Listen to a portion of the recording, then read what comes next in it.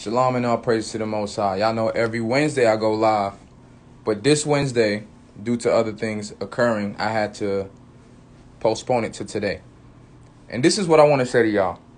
Sorry, I just washed my face. You will only overcome your weakness when your will is stronger. Your will has to be stronger than your weakness. Greater is he that is in me than he that is in the world. And you have to realize when Christ or Hamashiach is in you, your will by default becomes stronger than your weakness. There's another scripture that says to boast on your infirmities. There's another scripture that says the Most High gets his glory through our weakness.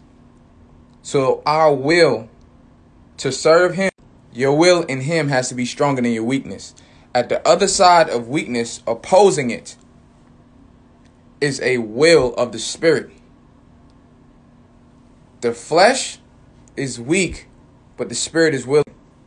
The spirit is willing, but the flesh is weak. That's also scripture. The more I advance spiritually, the, the closer I get to the Most High, and I ask for things to be done, whether they're desires, whether they're he- is healing, or whatever the case may be, I start to realize this. He doesn't do it for you. He puts something inside of you to get it done. So with that being said, check your will. Where is your will at? We have to constantly check ourselves to see where this will is, where this will of ours is. And if you're not in alignment with the Most High's will, that's a bad place to be. Shalom. Repent.